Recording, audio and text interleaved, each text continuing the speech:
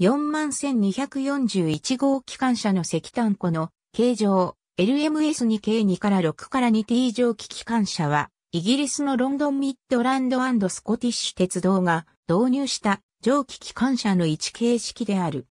ジョージ・イバットが設計した車輪配置2から6から2の却下療養タンク機関車で1946年からイギリス国鉄発足後の1952年までに130両が製造された。LMS には様々な老朽化したタンク機関車があり、新しい小型の機関車を交換する必要があった。グレートウェスタン鉄道4500系及び4575型といった車輪配置2から6から2系タンク機関車の成功はよく知られていた。ジョージ・イバットは自動放出式の灰箱や陽動式加工紙といった作業者を保護する機構を取り入れた新しい機関車を設計した。テンダー機関車版にあたる LMS2 系2から6から0蒸気機関車も製造された。LMS は 2P として分類したが、イギリス国鉄は 2MT に分類した。この機関車は LMS2 から6から 2T 蒸気機関車を発展させた LMS2 から6から 2T 蒸気機関車をベースとしている。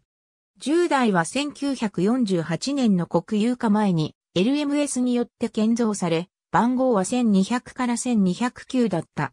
イギリス国鉄は番号に、窃盗時4を追加したため、41200から41209となった。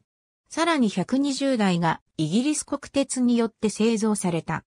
7000両目の機関車となった41272を含むほとんどがクルー工場で製造されたが、最後の10台はダービーで製造された。50台の機関車にプッシュプル装置が取り付けられた。最後の30台のクルー製の機関車41290から41319は新しい地域から南部地域に割り当てられた。残りは LMS 地域に配属された。本形式はイギリス国鉄2系2の6の 2T 蒸気機関車の基礎を形成した。ありがとうございます。